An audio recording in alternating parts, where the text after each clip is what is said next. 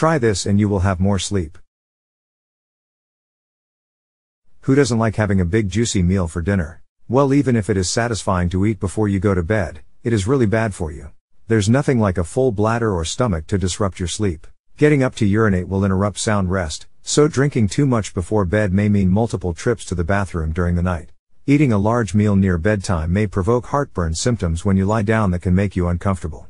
Obstructive sleep apnea can also cause both nocturia and heartburn at night. At least three hours before you go to bed, do not eat or drink anything. Have a good night. And don't forget to subscribe for more tips.